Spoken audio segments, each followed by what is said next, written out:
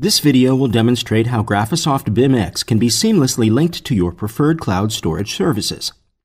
You will also learn how to publish and update BIM models from ArchiCAD directly to these storage locations.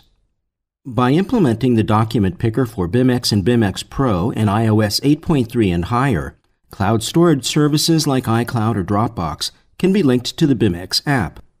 This allows the simple downloading and opening of BIMX models on your tablet device. To publish a hypermodel from ArchiCAD, we assemble publishing sets, including one or more 3D models of the building and the 2D documentation arranged on layout sheets. By selecting the desired publishing set and its Publishing Properties button, we can adjust the name and location of our exported model. The Publish Set Properties dialog first addresses the method of export. This is the Universal Export dialog, dedicated to printing, plotting, saving to the hard drive, or uploading directly to Graphisoft's BIMX model transfer site. In this case, we want to save a single BIMX hypermodel file directly to a cloud storage folder.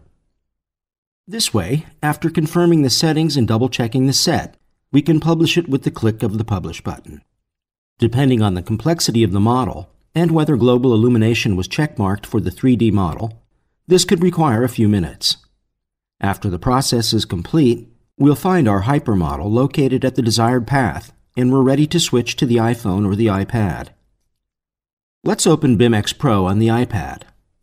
By tapping the plus sign on the top navigation bar, a drop-down list indicates the connected providers, including the BIMX model transfer site. By tapping the More option, the Storage Provider Manager dialog appears. Here we can switch on any available providers installed on the device. And now, by tapping the plus sign again, we see that a new location has been added to the providers list. Let's tap the Dropbox item to see the folder structure, familiar from our desktop. If we were to tap the Locations option here, we could directly access and manage other storage providers. Let's look for the published BIMX hypermodel and tap on the name to start the download. After the download is done, our newly added hypermodel will be listed at the top of the Projects page, waiting for a tap to finish the import process. The BIM project is now fully available, so let's open it and take a look around. The published documentation, as well as the building model, is available, and navigating the project is smooth and easy for anyone using an iPhone or iPad. What if we would like to update the BIMX hypermodel with changes to the building project? It's easy. Back in ArchiCAD, we make the necessary modifications, and then create a new publisher set or just modify the existing one. Please make sure that the publishing path and the file name is the same as in the previous publishing instance. After publishing again, we can return to the iPad to check the update. The update will take effect once we open the BIMX project from the storage location and confirm the download in the project list. Please note that unlike the BIMX model transfer, updates to linked files downloaded from cloud storage locations require the update of the entire model, not just the changed portions thus possibly increasing download times. Furthermore, uploading via the BIMX model transfer site ensures instant notifications about the available updates to the project.